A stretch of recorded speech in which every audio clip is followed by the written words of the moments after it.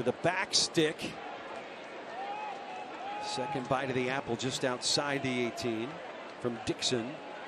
Now Boone gets a shot Oh. in. Just what the doctor ordered for Monterey Bay FC. Mobi Fehr has his first goal of the season. And the Rowdies are chasing a 1 0 game here at home. See this Monterey team, little ball in, little hesitation, and a beautiful crossing from Chase Boone and Fehr. Took it on the volley. Look at the technique. No chance for Connor Sparrow.